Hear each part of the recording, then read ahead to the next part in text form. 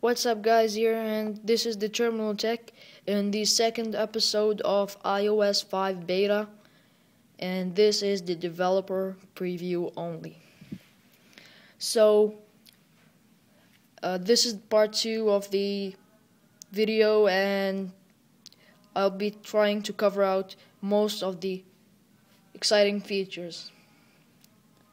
So let's say we went to settings Finally, you can make software updates and iTunes sync without any wireless, uh, without any wires. So there are no wires, and while you sync or update, you will find something like a recycling logo up here. Well, that's the first feature. The second feature, which is awesome also, is iCloud. Let's say we are in the App Store now. You have a new category which says purchased, and it's gonna be showing you every product that you have purchased on your iPhone, iPad, iPod Touch, or on your laptop. So let's say I purchased this app on my iPad and I don't have it on any of my devices. If I press the iCloud logo, it will go to my iPhone, iPod Touch, and MacBook. So this is really powerful. And a new amazing feature is iMessages, which is in the iPod Touch and iPad, which lets you to speak with iPhone, iPad, and iPod Touches. It's something like BlackBerry Messenger.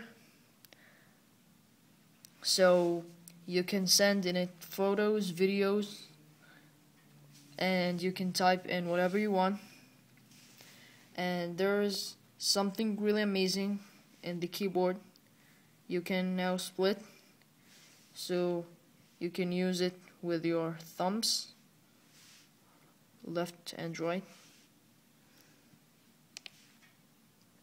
And now you have the iPod app called Music and it's all new design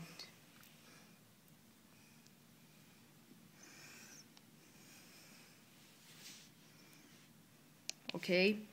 And another new thing they made is in game center.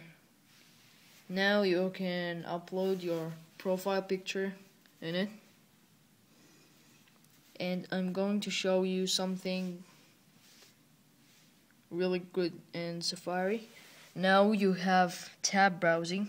You can add tabs here and let's say now this is Engadget and I'm going to show you really awesome stuff. Well, let's say we want to select this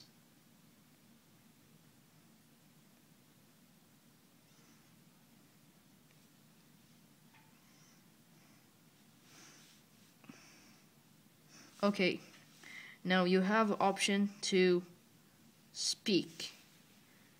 Um, described as a test flight of IPv6. Today marks the biggest concerted effort by some of the web's marquee players to turn us all onto the newer, fancier web addressing system, Internet. So, this is really cool. This feature is, I think it's called Auto Speak. You can find this in settings. And another feature, which is, oh, another feature which is let's say um,